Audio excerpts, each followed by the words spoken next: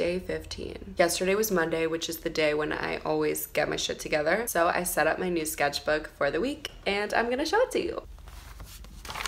So we are in week three. Piece of advice, which I'm gonna write down at the end of the week. And then I have my sleep tracker. Oh my God, I slept so well last night. 10 out of 10. My new roommate, Olivia, who's one of my best friends, doesn't have sheets yet. So she's been sleeping with me and she goes to bed so early, like two, that's pretty early for me. Law of attraction quotes. Monday, my quote was, good now is better than perfect later. Tim Ferriss habit tracker. This is like really similar to last week. Oh, oops, I forgot to fill some of the stuff in. I definitely did that. I didn't do that. I did this. I did this. Okay. What gets measured gets managed, Tony Robbins quote. Boom, I want to be early to all my meetings. I want to send agendas to people before I meet with them. I want to communicate the feeling of increase in every interaction that I have. I want to articulate my purpose honestly and explicitly with people through my words and body language. I want to communicate energy to myself through my posture and how I look at myself in the mirror. And I want to lucid dream every single night. Which, by the way, I had a lucid dream this week. Huge milestone. Basically, I was on the train last week and I thought I saw this girl that I went to elementary school with, but I hadn't seen her since we were like 11. And I was like, no way, that's her. And then in my dream a couple nights ago, I saw this girl. And so then I knew, I was like, oh, I know this is a dream because there's no way that this girl is like popping up right now. So then I realized I was lucid dreaming and I flew,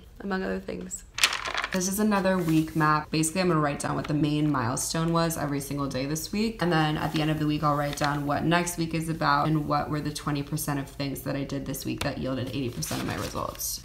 I'm re-listening to this book called Essentialism by Greg McKeown right now. It is such a good book and I wanted to make a sketchbook spread that reflected some of those concepts. His whole premise is less but better. I just made a really simple Tony Robbins RPM map. RPM stands for Rapid Planning Method. It's basically the anti-to-do list. So instead of writing 100,000 things that you get so overwhelmed by that you need to do today, you just write three simple columns. This is your outcome or your what, this is your purpose or your why, and this is your map, i.e. massive action plan, i.e. how. What, why, how. Basically, the idea is my job is to establish the what and the why. The universe comes up with the how for me. Once I'm clear enough about what I want to do and why I want to do it, the path is shown to me and I just follow it. Being clear on what you want and why you want it equals intuition. That's your to do list. So, my outcome, my purpose, my result, what is the doesn't cause when I do it? Okay, let's just take an example. My outcome is I want to have emailed three completed new songs to my manager by the end of February. Okay, why do I want that? It goes along with our agenda for our year. It allows me to process what I'm feeling and express myself through art in a way that feels really cathartic and good to me. Once these songs are completed, we can begin mapping out our new live set. We'll be almost finished with our record that we're working on and we can start shopping it to labels and decide how we want to release it. We can start touring it. There's so many reasons why I want to have this outcome completed. Then what I would basically do is set a timer for like five minutes and jot down every single thing that comes to mind for how I could get that done. The ones that stick out to me, I will circle and that's my plan. That's it.